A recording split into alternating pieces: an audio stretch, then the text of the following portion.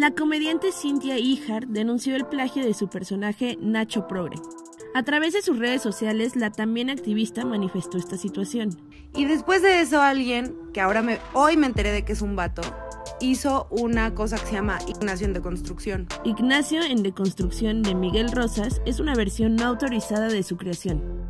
El personaje de Nacho fue ideado por Ijar en 2016 en compañía de Carmina Warden concepto que nació a manera de sátira ante el pensamiento machista que aún prevalece. El 31 de mayo de 2016 yo dije que quería ser un personaje que se llamara Nacho Progre, que fuera este tipo de vatos que te dicen que no es una lucha feminista, sino de clase cuando dices que hay abuso sexual o violencia de género. Rosas fue invitado a un programa de radio para charlar sobre nuevas masculinidades.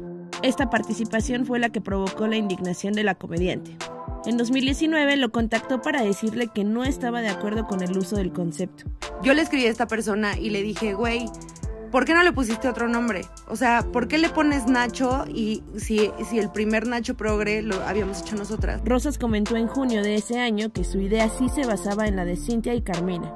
En el comunicado aceptó que usó el mismo nombre como estrategia de posicionamiento. La comediante, parte del grupo Estando Perras, citó la publicación para retomar el tema.